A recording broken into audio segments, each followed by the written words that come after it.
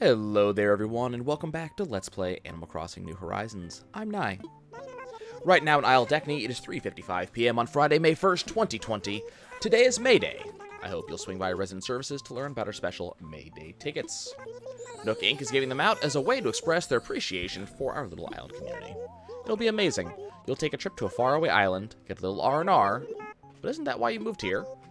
Anyway, it's going to be all sorts of fun, so don't forget to speak with Mr. Nook in Resident Services. That's all for today. Have a fun day out there. You know, I really appreciate it when someone thinks I don't know how to do my job. It's a fun time. I am going to be ranting just a little bit because this one uh this one kind of got my dander up a little bit, not not going to lie.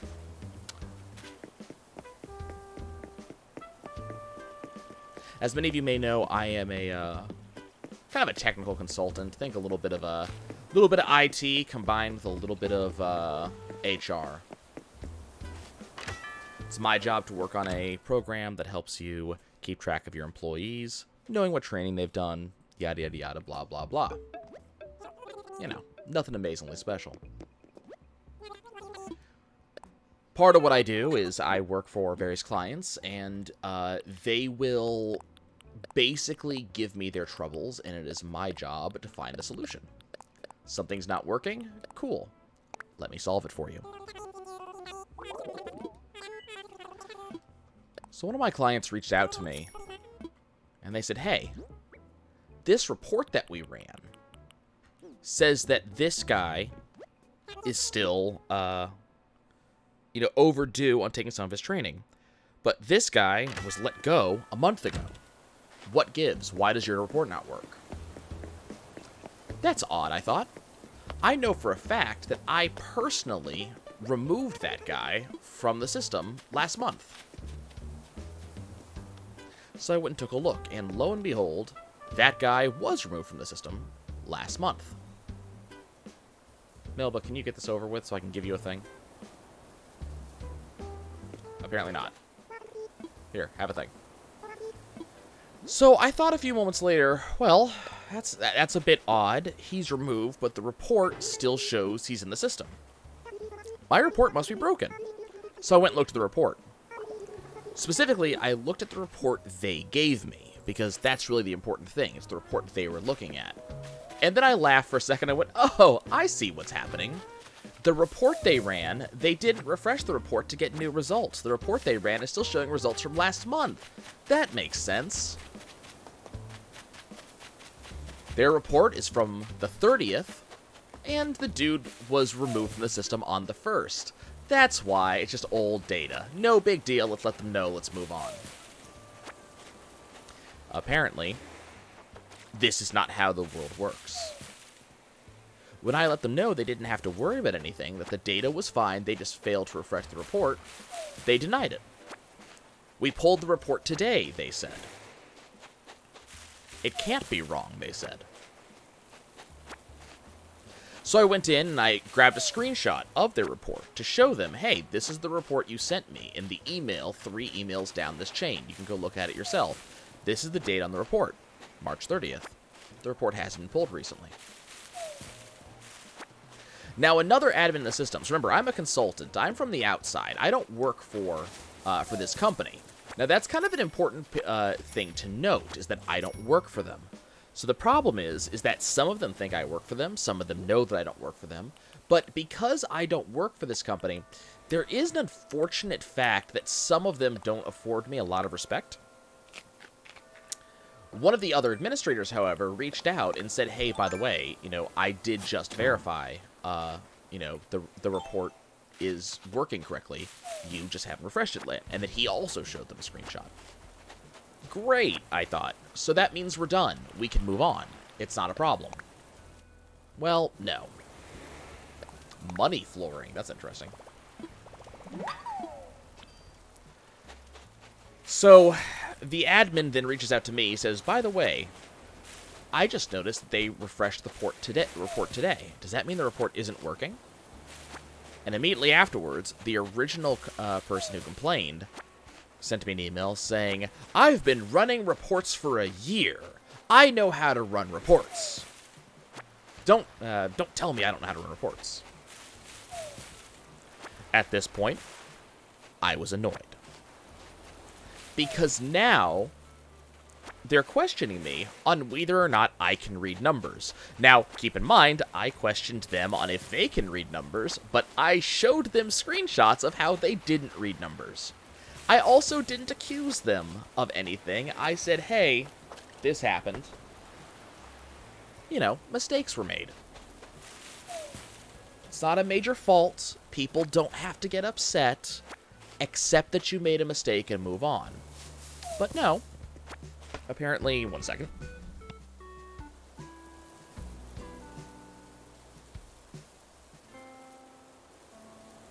Sorry, my dog was chewing on something she shouldn't chew on. But no, the person in question decided that because I pointed out a common error, and again, this is common, this happens all the time, that they were going to get their dander up. And another admin who does not admittedly know as much as I do around the system decided to question me on it so, giving credence to the fact that, hey, apparently our consultant doesn't know what he's talking about. So I had to go and log in and a on a onto the user system and look at their report. Yes, it says they ran it today. But I was also able to look at the times the report has last been run. And wouldn't you know it? The report run today was run today. Great. The previous report was run on the 30th, like I thought. 30th of March, by the way, in case you guys are curious. But what was more important is that the, the complaint about the report being incorrect came in at about 10 o'clock this morning. The report was run at 10.15. Lo and behold, it turns out that someone didn't run the report correctly. Or, alternatively, they ran the report correctly and looked at the wrong report. I don't know which happened. It is not my job to pass judgment. I'm not judging in the first place. I am telling you what happened because you asked me what happened. If you don't like my answer, that's fine. But for Christ's sakes, if you're going to challenge the expert on something, please be right. Look, I don't have a problem with being challenged. It's not necessarily professional pride that drives me to rant right now. It, I mean, it is a little bit. I'm going to admit that. I, I really dislike, it, it is a pet peeve of mine, when I know something, because I've put a fair amount of time into note making sure I understand what's going on.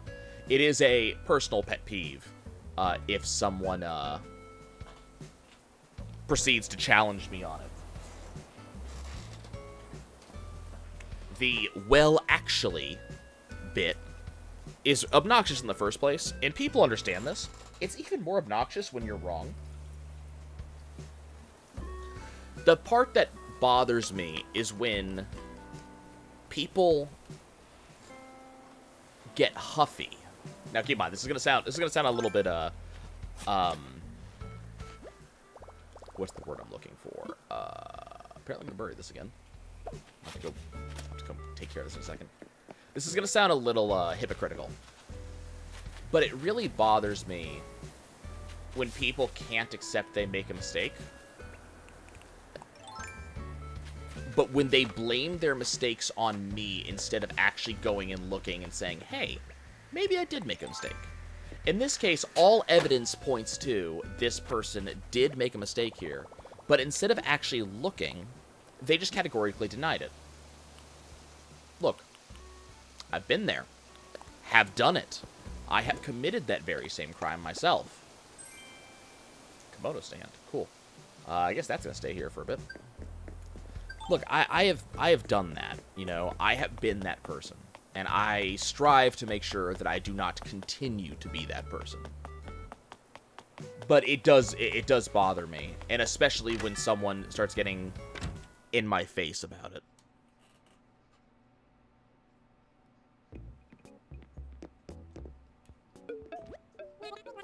I think the big difference is that when I feel like I'm being, you know, uh, challenged on something and that, you know, my my expertise is being questioned, I generally go look and double check my facts. Like that's something that I that I tried to learn a long time ago. Um, I'm trying to see if I still need peaches. I'm checking my notes real quick. Uh, I do not need. Um, you know, some time ago, I started making a habit of that when someone says, "Hey, I think you're wrong about that," which that happens a fair amount. Look, I'm not going to profess to any uh, intense level of intelligence, and uh, I get my facts wrong a fair amount. So that's fine. I'll go look up the facts. But I try to, if before I clap back at you with the no, I'm no, I, I, I do. I go look it up. I go check, and it so it bothers me when someone doesn't do that. You know, gets in your face about you're wrong, but didn't bother, or, or you're wrong about what you said, but didn't bother to check the details first. Because then you're just wasting everybody's time. But the problem is I work in a professional environment. So it becomes very hard to respond to someone in a professional manner with the I'm sorry, all the evidence points to the fact that you did indeed make a mistake. It's not a it's not a judgment on you. This happens. It's really hard to show conviction and still be able to respond that way. And again, the big thing you got to understand is that I'm I'm I'm a professional here. Like I do work with these people a lot. I have a fair amount of work I have to do with them. So there you can't just like you you got to be, you know, I mean, look, I'm going to be respectful anyways. But there is a certain level of like I can't be snippy about it, you know?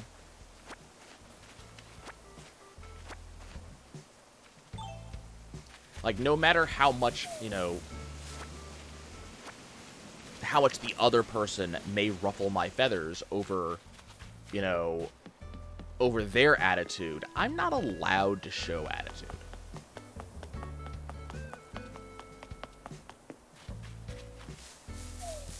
I don't know, just gets to me a little bit. It's not very often that I have client stories to tell you guys. Um, you know, most of my clients, it's a fairly amicable relationship. I actually had one of my clients reach out to me uh, yesterday, actually, uh, about a uh, kind of a silly issue. It wasn't a tremendously big thing. It was just a, it was a, you know, a functionality issue, but it just so happens that I knew, I knew the answer to it, and it was something that after the fact, you know, my client was a little bit more of a, you know, oh, that, you know what, that makes perfect sense. Thank you, I appreciate. it.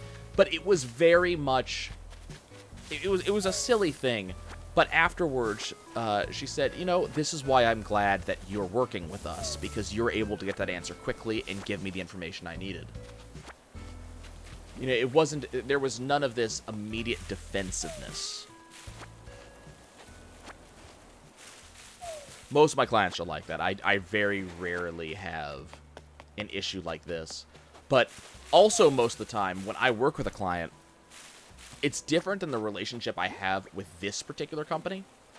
Um, this, this particular company is a little bit different from what I normally do.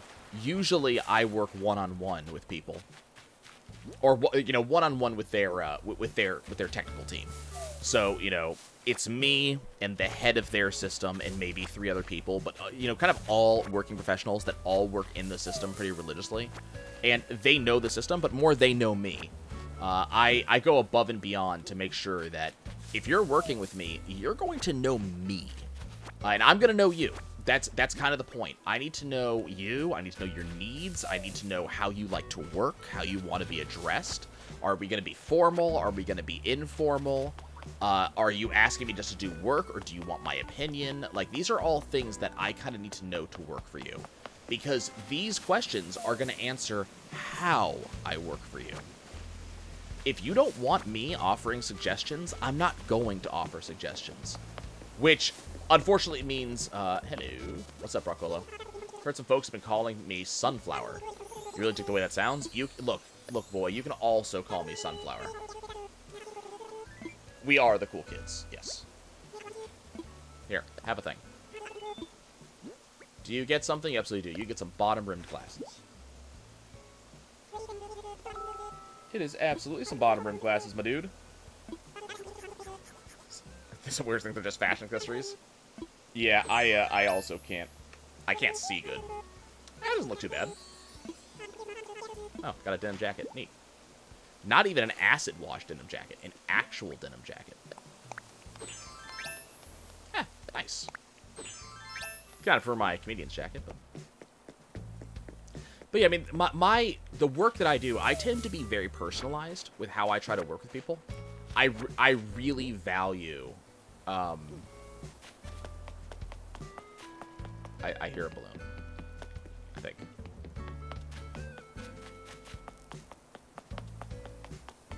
Maybe? I really value customizing my work per client. So, you know, talking to them the way they want to be talked. You know, if you're being formal, I will be formal. If you're being informal, I will also be informal. You know, it's kind of based on how you want to talk with me because I want you to be comfortable. And then I'm going to get to know you. I'm going to get to know how you use the system, uh, what your uh, what your people are like, you know, uh, uh, what type of training you do, because all of this is kind of necessary information that helps me decide how I'm going to give you advice. Because half the time, that is why you, uh, why you're asking for the service that I provide, is because you want help. Some people, they just want, they need an extra pair of hands. You know, hey, go do this 17 things for me. And it's like, okay, cool, I got you. You don't have to do this. I will do it for you. That And that's what they want out of me. And that's great. That That is what I am here for. Uh, but some people, they do ask for consulting help. They say, hey, we need to, uh, you know, we need to do this, that, or the other thing. We need to set this up this way or this up that way. You know, how, how would you recommend? And so I give a, I give that level of work. So that's how I work with most of my clients. So most of them know if I tell them, hey, I think you might have made a mistake. I think you need to, to check on this. Those clients immediately understand. You know, there's no accusation here. I actually got two completely different people uh, to give me this complaint uh, today that, that a report was not pulling information correctly. Uh, both from the exact same company. Um, one was the person I work with regularly. So, uh, you know, I, I email back and forth with her on pretty much a daily basis. She is the head of the project. Uh, she knows me fairly well. So when I told her, hey, I don't, this hasn't been report, refreshed recently, I think that's the issue, she immediately said, oh, that makes perfect sense. I see that now. I, I feel silly for bothering you with it. Thank you. And then the other person got offended. Uh, and that tells you everything. The other person is someone that I don't work with very often. They don't know me. So, you know, they got they got defensive on it. I don't really understand why you want why you need to get defensive over something that small. But there you go. Sorry, I had to rant for a second. That that was that actively bothered me, and uh, I needed to I need to vent for a minute.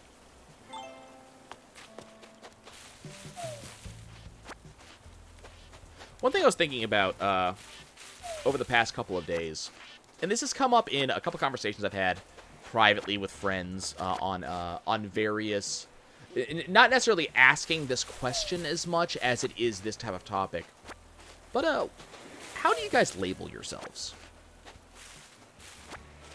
What what labels or what identities do you have that are a core component of your character? Or what what factors are key components of who you are as a person? What do you base your um, trying to think of how to word this well. I, I need to move this, um... This pear tree's not going to work there. I have to move that pear tree. But what a... What, I, I get, what are the key parts of your identity? I guess is the question. This was easier back when we were all in school, right? Because back when you were in school, you were the jock, you were the nerd, you were the cheerleader. You could have been a number of things, but there was always that, you know, that key word, the label, that was what you were known as. But the more I the more I interact with people on a regular basis, the more I spend time with people, I find that a lot of people tend to have a couple of key terms that they would potentially use to describe themselves. But more, I found people that have had, because of potential issues in the past, there are certain aspects of their identity that define themselves as a person.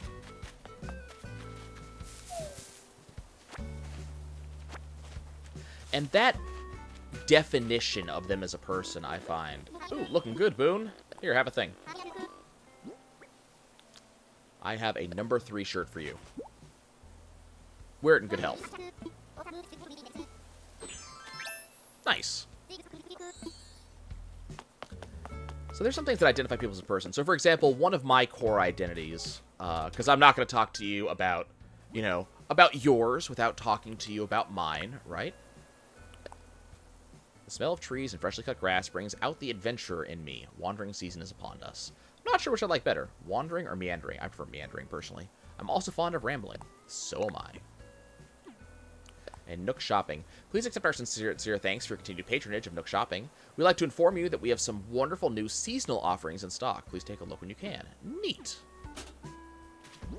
Okay, so there's KK Steppe, which is a new song. And this from Mom is Mom's knapsack.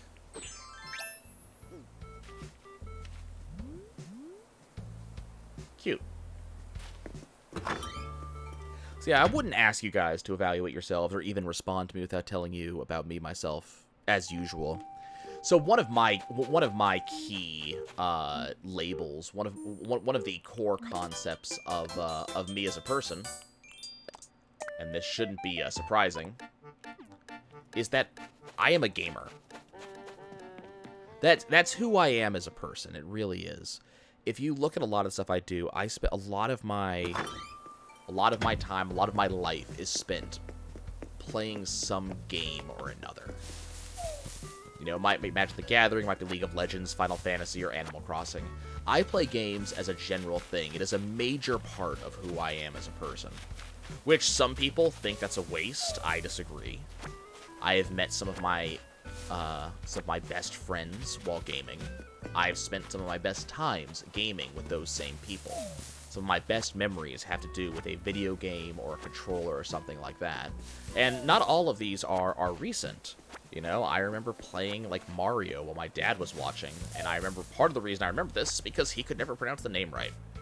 Mario Brothers. But these were these are things that are part of my core identity, and they have become a part of who I am as a person. And it's not just the fact that I play video games, but also that video games have helped decide how I react to various pressures and stimulus in my environment.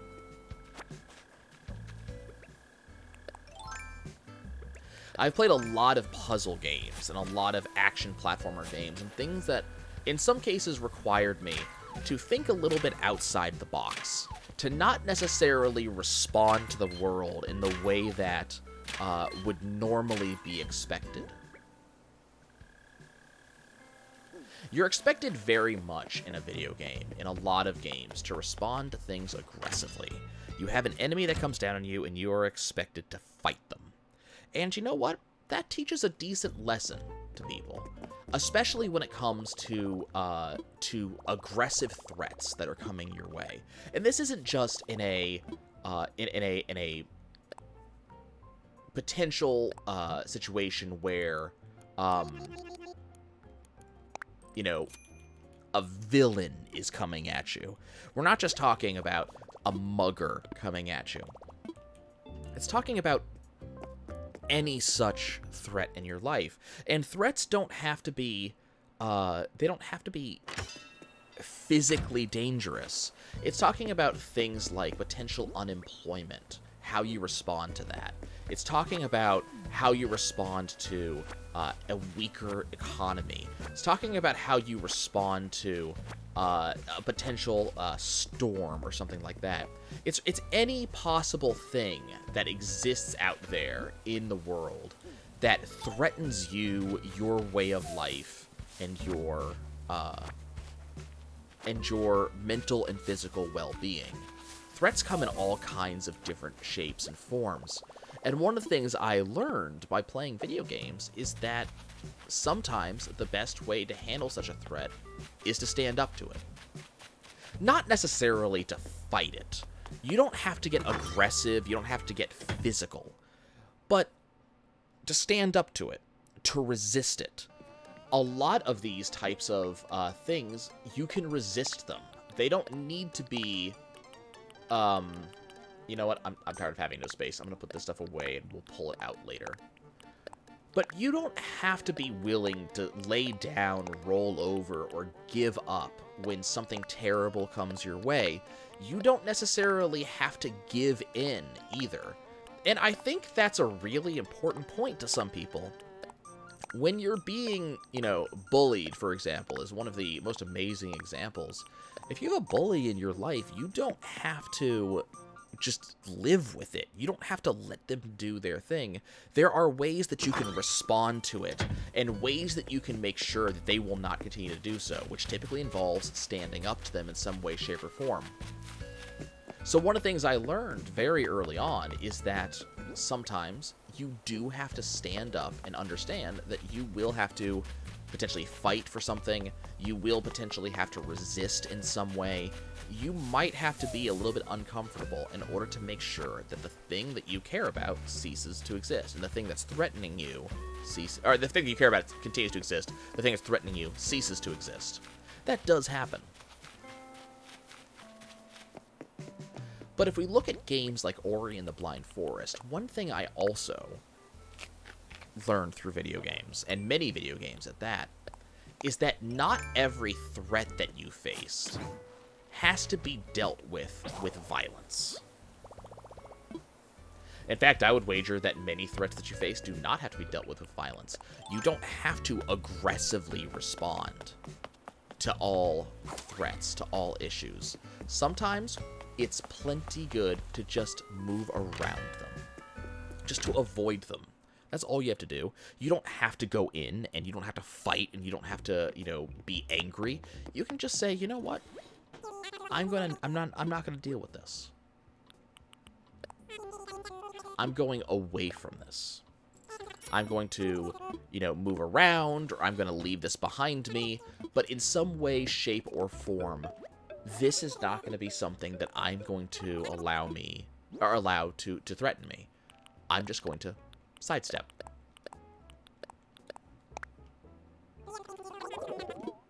But also, gaming is something that I learned allows me to exercise. I play I play Dance Dance Revolution, and Dance Dance Revolution is decent exercise. It's probably not as good as some other things, but if you can do Dance Dance Revolution for a good hour or so, I imagine that's at least got to be good as jazzercise, right? I've worked up heavy sweats playing that game because I don't take it easy. I play on higher difficulties, and I go, go, go. And that helped me find ways that I can exercise that works for me. Now, that's not to say that's the only exercise I do, and that's not to say that that is the only healthy exercise. It absolutely isn't on either uh, on either one of those two. But it absolutely is a way that I can get into it, and it's helping me get better at exercising. Gaming also helps me to just pass time. I might be riding my bike, and I will bump up someone like the Game Grumps or something like that on my phone as I'm riding, and I'll just listen to them and that helps me lose track of time. That, and that helps me, again, to exercise, because I'm not paying attention to the burn of my muscles or to the amount of time that's passed. I'm enjoying listening to them goof off and do stupid shit. So one of the core aspects of my personality, one of the things that, one, one, one of the one of the basic tenets to me as a person, is that I'm a gamer. Another core aspect of my personality that I'm aware with is that I'm a teacher. I love to teach. You guys have heard me talk about it, talk about how I love to love to help people learn something. I love to watch people learn. I love to learn myself. But I love teaching people. I enjoy the feeling of watching someone take a concept that was difficult for them to begin with and to begin to understand and to master. Now, unfortunately, the downside there is that that's not always a good thing.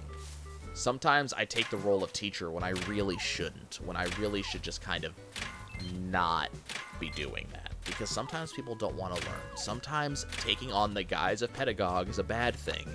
And sometimes it feels like you're talking down to people. People get upset at that.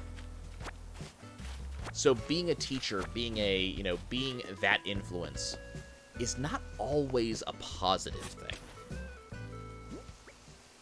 but it is a core aspect of my personality. When I hear someone not that doesn't understand something when they're when they're struggling with something, my first instinct is to reach out if I understand what it is and try to help.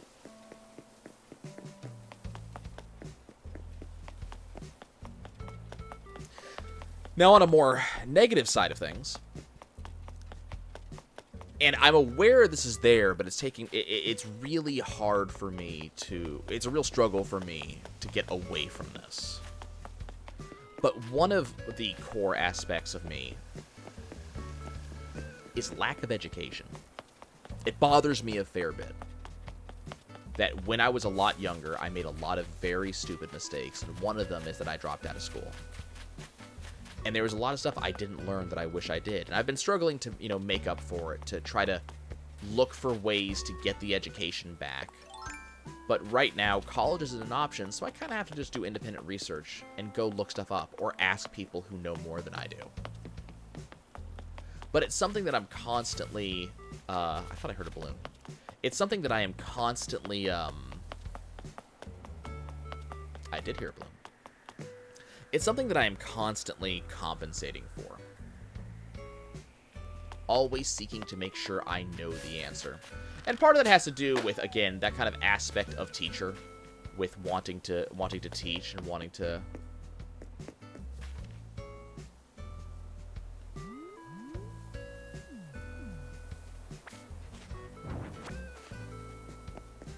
Uh-huh. Okie dokie. That present is just gone. So part of it has to do with the, the, the, concept of being a teacher, because you can't teach if you don't know, so learning is kind of an important thing there. But I'm always concerned that I just do not know enough, that I am surrounded by people who are more intelligent or better learned than I am, and I have to rise up to equal them, to contribute into a conversation or contribute uh, into kind of any given situation. That's not always a good thing. In some cases, it causes me to sound like a know-it-all, when really I'm trying to, trying to prove that I'm just not a know-it-nothing.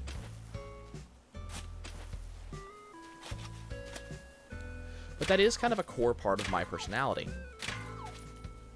And I see a lot of people who have other parts of their personality that are core to them. One primary example, or well, two examples really, that I'll give that are core personality, uh, core labels for a lot of people, especially lately, are gender and sexual orientation. Because you'll notice that when I commented about things that are core to me,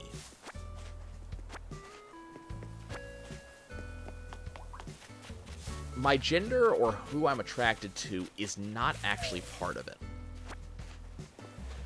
I don't consider that personally to be something that is a major defining feature of me as a person. But I do have friends who think otherwise. I have friends who the fact that they are gay is a major part of them. If you were to ask them to define themselves in five words or less, gay would be one of those major words. And if you're curious what I mean, go look up some people on Twitter. Go look up Twitter profiles, and go look at that very brief bio, the three lines, 18 words that they use to tell you everything about themselves. They might tell you their job. They might tell you that they're a parent. Oh, yes, she said a thing. Okay. Well, that... Okay. Quest done. Uh, I don't have anything for you. I will talk to you later. But they'll tell you that being a parent may be the thing. But a lot of them, at least in some of the circles that I follow, it's gender or sexuality. Now, generally, what I see is that when it's sexuality, it's because they are explicitly not heterosexual. They're bisexual, or they're homosexual, or pansexual, or any of the other actuals that live out there. And it's a major part of it's a major part of them, and they need you to know that. And generally, when I see gender involved, it's because there's something big going on there. They might be an ally trying to uh, help with uh, with some of their transgendered friends and make sure they know, you know, hey, I will also give my pronouns. I will also give my gender. It may be someone who, you know, who is transsexual, and they need to make sure you know who and what they are from the get-go. But I'm not saying there's anything wrong with that. But I'm interested in who defines themselves in what way, because different people define themselves in different ways. They have different methods of saying and identifying. These are the core things that are important about me. And I always find it, as I said, interesting. You owe me a peach lassie? Okay, cool. Here, have a thing. Uh, a retro radiator. Yes, that is a retro radiator. Congratulations. Okay, so you're gonna give me a bathrobe. Okay. So what interests me about this, first and foremost, about this topic of conversation, is I, I'm just interested in people. I'm interested in what people feel are the most important things about them. Because generally, I feel different. About both myself and about the people in question. I've got a friend of mine who is very down on their looks. And because they're down on their looks, they don't believe that they can be cute. But in my eyes, cuteness, in a very big way, is more about your personality and how you interact with folks than it is about what you look like. I know people who they're not going to be on the cover of any modeling magazines anytime soon, as much as I would hate to tell them that to their faces. But goddamn are they the cutest people I know. The most cuddly, interesting, loving people that I know. But it's not a label they would ever give to themselves. And it was a big deal a number of years ago when people were saying, I don't fit in any labels. And that is complete total bullshit because the label you just put yourself on is no labels. Everybody has a label or two. Everybody, without question, without exception, everybody has a couple. And that's not a bad thing. Just because we can identify a couple of aspects of you and your personality by just a couple of words does not mean they're a negative thing, and it doesn't mean that you're a simple person. It just means it's easier for other people to know, hey, you're going to make a good match for me.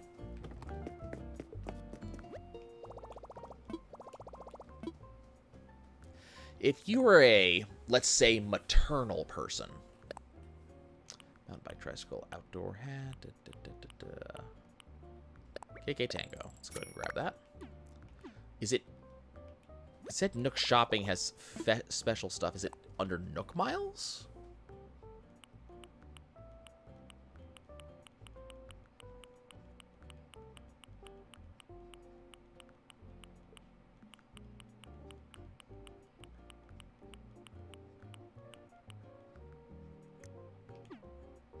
Not a hundred percent sure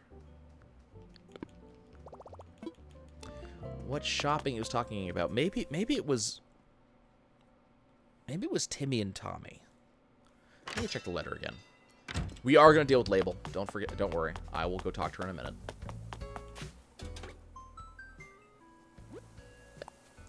Please have our sincere thanks for continued patronage of Nook Shopping. We'd like to inform you that we have some wonderful new seasonal offerings in stock. Please take a look when you can. shopping.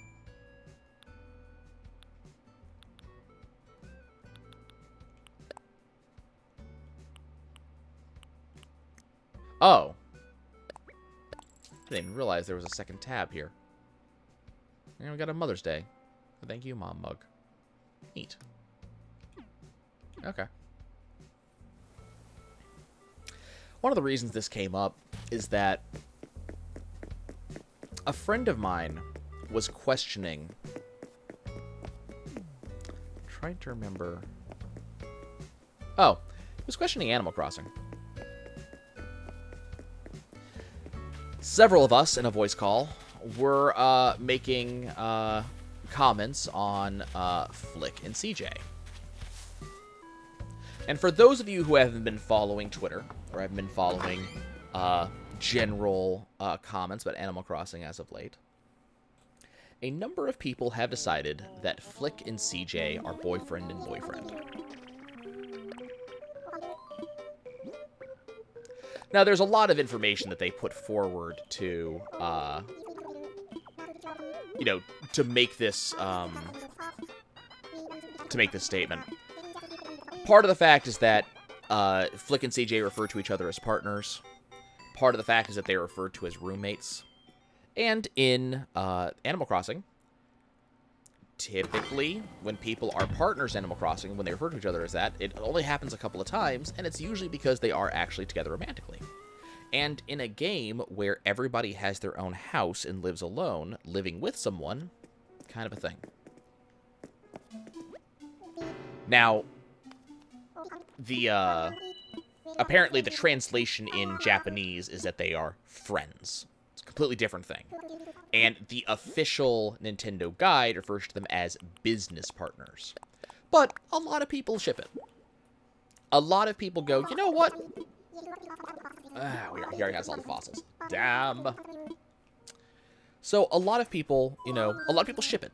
They feel that they would make a really cute couple. And I'm going to be honest, I've looked at a lot of the fan art, and there's some damn cute stuff in there. Like, I, I, you know what? I'm all aboard. Flick and CJ all the way. But this friend of mine was kind of, uh...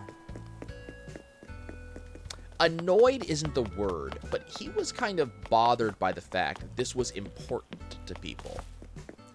That they were or were not together. And he just couldn't understand why we were all talking about it or why we all were considering it. Good bathroom. And it took several of us, those of us who either, you know, have friends who are gay or otherwise, or those of us who are, took several of us to point out that there isn't really a lot of I mean, the word is representation. That's what everybody says. Everybody uses that word, representation. But there's not a lot of representation of homosexual folks in video games, or in TV, or in movies. And one thing that everyone wants, and you might not admit this to yourself, but think about it for a minute and you will agree. One thing everybody wants I do know how to make a tea table. Okay, well, we got another recipe we already have. One thing, one thing that just about everybody wants is they want to see people like themselves represented in media. This is not isolated down to just sexuality or gender. I should go talk about yeah, we'll, we'll go look at Mayday. But this is not isolated to sexuality or gender. Absolutely not. In a lot of movies, we want women to be in the movies. Not just women in general, not just as side pieces, not just as eye candy. We want actual strong female characters. We want women who are real women, who, you know, are in there. We want our superheroes to actually include women. We want our uh, action heroes to include women. it's an important thing because women can also do that stuff. We want men to be able to, to be in movies in the more uh, paternal role. You know, we want the single dads. We want that stuff. We want to see not just white faces. We want black faces, and we want, uh, you know, we want African Americans, we want Latinos, we want uh, Asians, we want uh, people from the Middle East. We want everybody in. We want movies from everywhere. We want people to be in there because number one, it is important that people like you are on screen. That's always going to be important. It's not just because of political correctness or anything like that. In fact, I would say it's not because of political correctness at all. It's actually, I, I think it's a completely separate thing. I wouldn't necessarily say opposite. Um,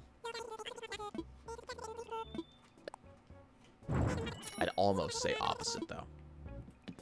It's not because of that. It's because you want to be validated. You want to know that probably not the decisions you've made. Decisions is a really hard word when it comes to a lot of this stuff. Because some of the stuff is decisions. You know, me being a gamer, the decision in a big way. But a lot of the stuff that are uh, that are you, like specifically you, you as a person, a lot of the stuff is not stuff that you decide, it's stuff that you become.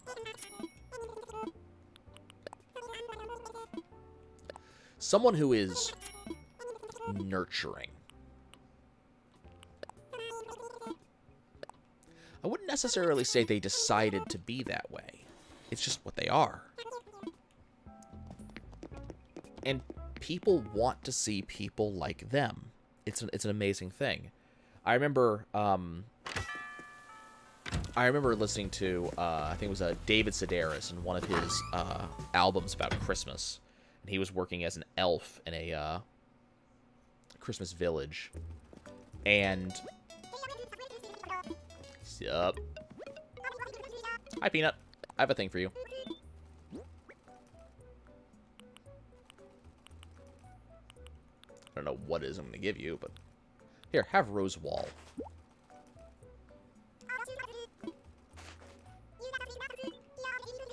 Printed layered shirt.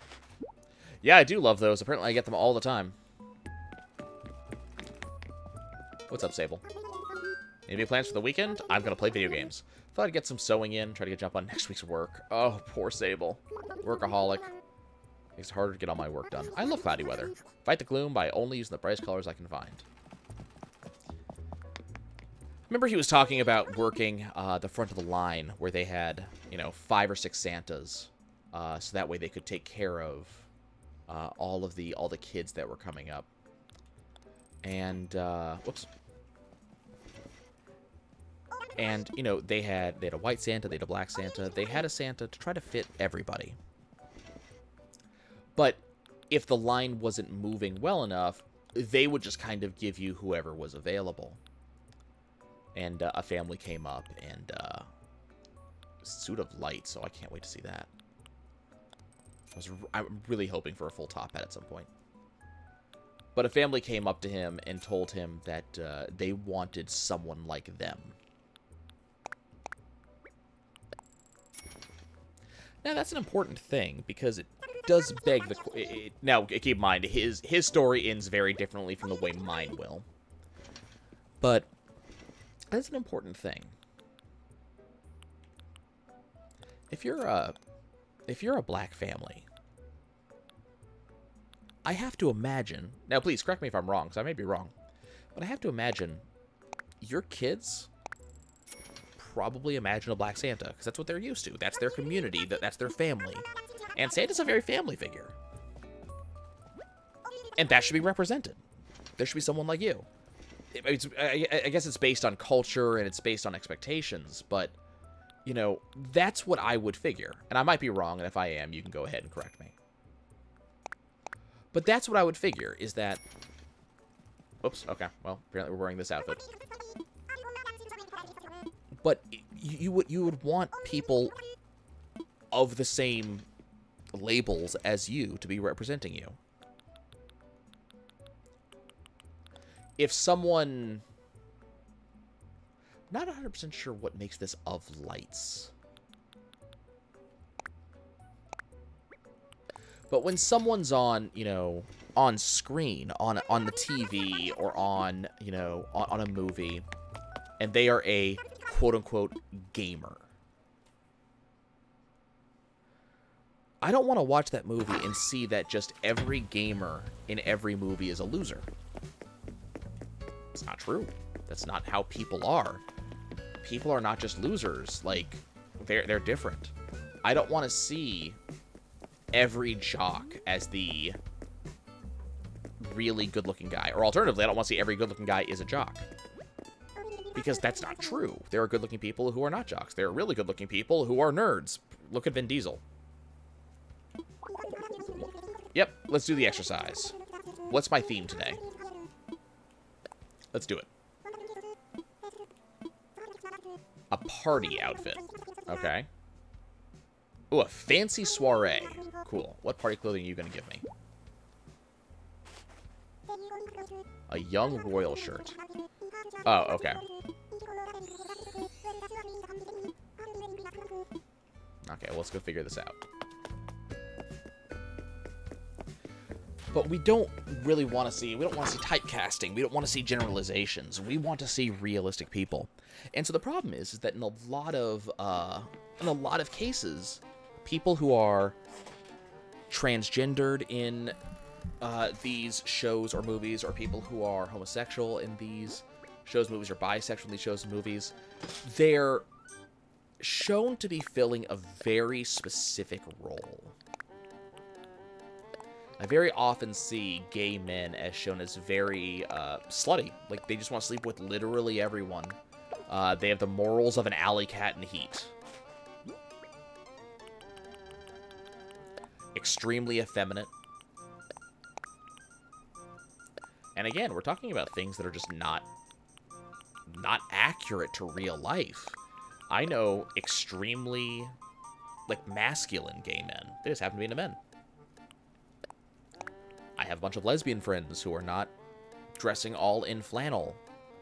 Like these these are, you know, common stereotypes, but they're not really true. And we need to not be necessarily showing them that. We need to see actual people who are actually real people in reality.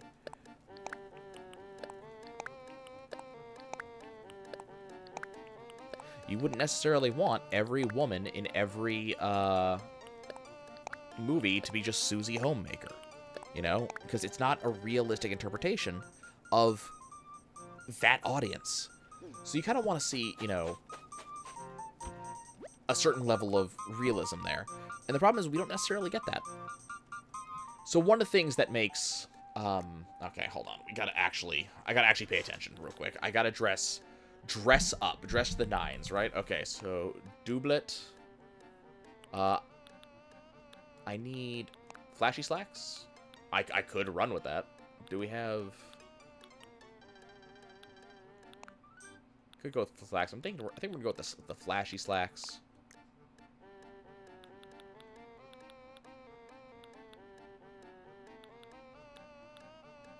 I gotta go look at the suit of lights and see what that's actually supposed to be. I want a top hat. Damn it. Oh, apparently I have two small silk hats. Okay. We got some duplicates in here I gotta get rid of. Well, it doesn't really, uh... give me much I can wear on my head for... You know what? Nah. I'll just go with this. Uh, let's see.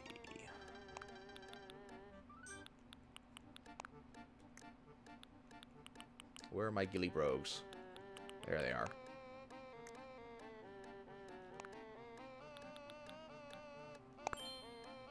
Cool. Lost track of what I was saying.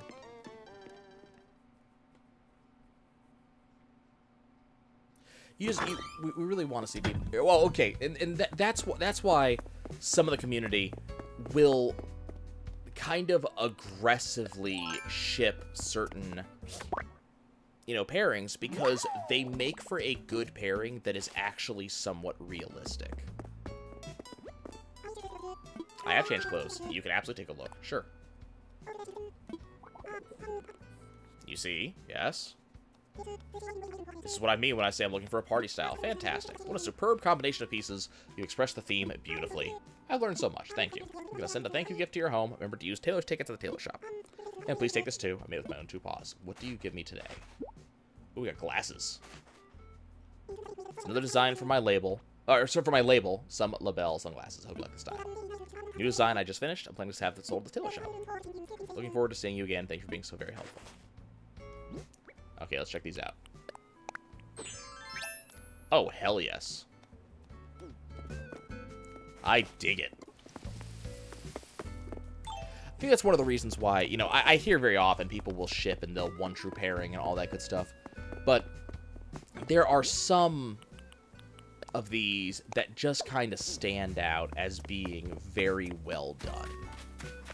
And I think that's one of the reasons why, like, Flick and CJ work so well, is that they're just two fairly normal guys. Yeah, Flick is a little bit out there with some of his, uh, some of his thoughts on bugs, sure. You know, he does have a little bit of that, uh, you know, try to think of the words here. He does have a little bit of that, um, eccentric artist thing going on.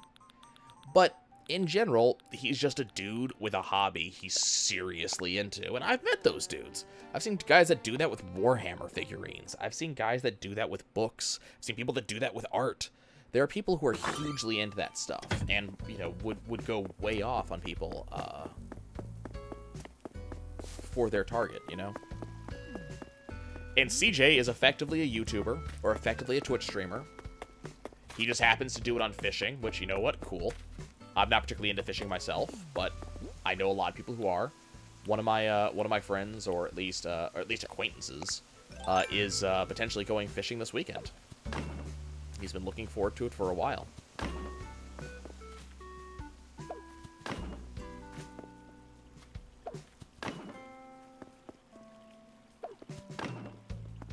fishing is fishing is neat, and that's and that's CJ's thing. Is he? What does CJ do? CJ fishes. That is his, uh, that is his thing. So in general, Flick and CJ are just ordinary guys. And the, uh, the assumption is that they're ordinary guys who happen to be seeing each other.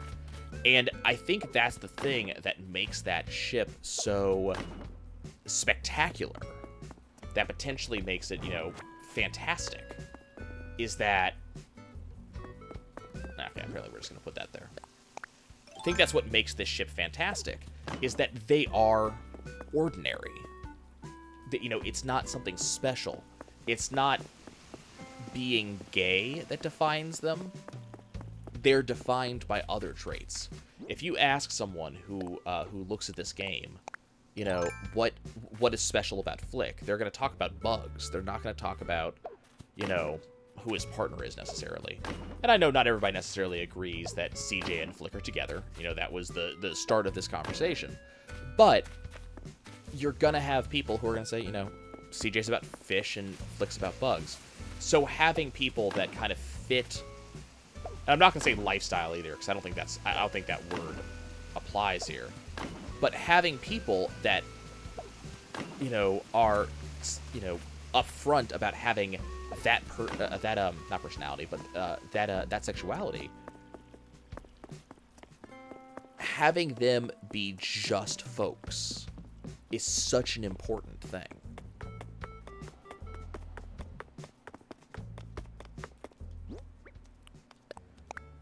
Do I, do I want? No, we're gonna do barbed fire fencing, barbed wire fencing for uh, for Bruce. It fits for Bruce. And if necessary, I'll take down his fencing so I can uh, give it to Sylvana. But it's it's certainly an important thing that I think that uh that this individual, the the friend that I had this discussion with, didn't quite understand.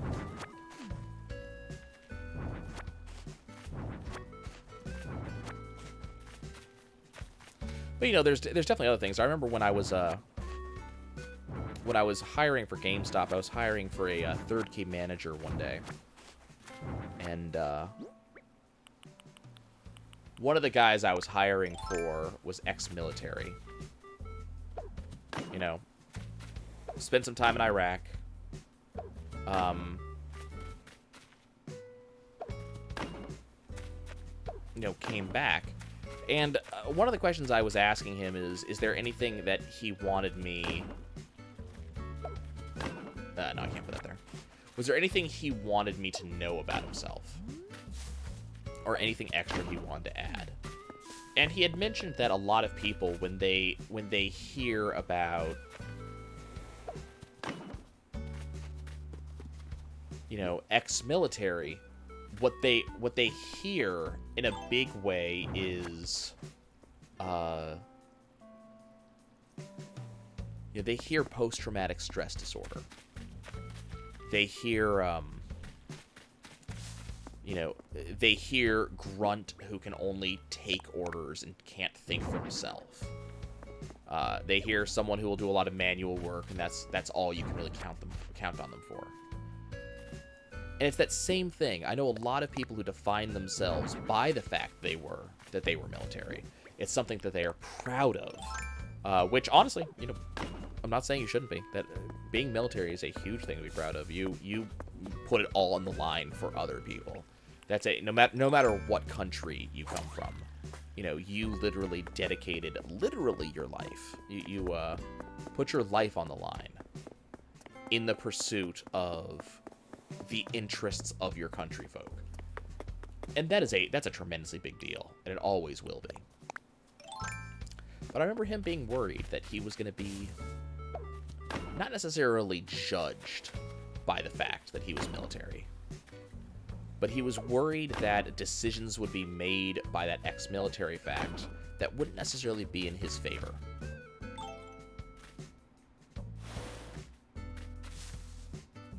Oh, hello. That's new, butterfly. Come here, you. Got a great purple emperor. As I said, that one's new. I forgot. We are officially in July. Sorry, July. Officially in May. So a bunch of uh, stuff's available this month.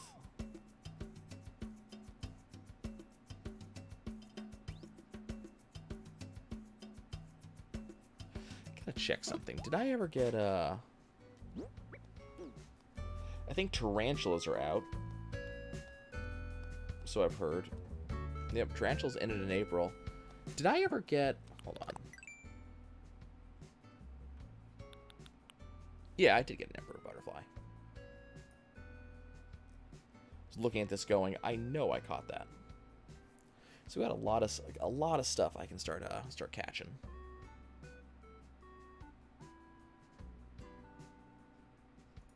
Got a bunch of fish I can catch still. Gonna have to go look at that. The labels that we define ourselves as.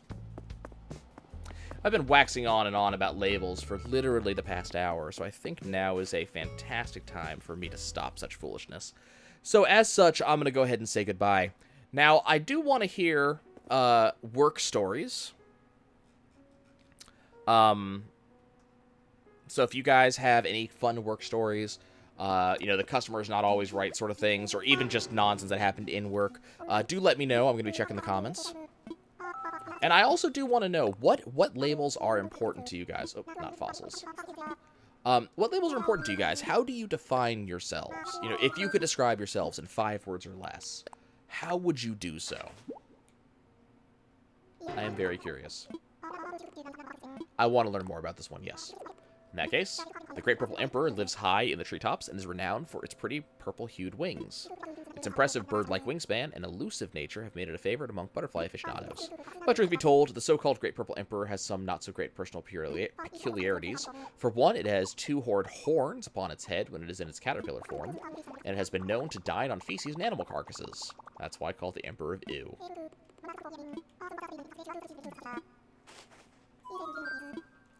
As usual, if you could do me a favor and know, comment if you can, but also do me a favor and put a like on the video. Uh, that does make it so my videos show up more often for other people. So if you liked this, it means that other people are more likely to see it. Also, awesome. Rain. Gotta check something really quick before the hour changes. Run! I always forget to be here on time. Damn. Gotta be here at the turn of the hour one time. Uh, but yeah, uh, if you if you like, it does make it more likely that people are going to see this. So if you liked it, hopefully we can get to other people. And then if you want to see more content, please subscribe. It absolutely helps me out. Uh, it means you're going to see my stuff go up when it goes up. I upload one or more videos a day. And if you want to see com uh, content live, I do stream uh, Tuesdays and Thursdays at 5.30 p.m. Uh, Central Standard Time. And possibly even on other days, though that's more subject to personal whim and whimsy. You can see my alerts either on YouTube, or alternatively, you can go into my Discord channel, which is in the description of the video, and join up there where I announce. It's been a pleasure talking to you folks, as usual. I will see you tomorrow.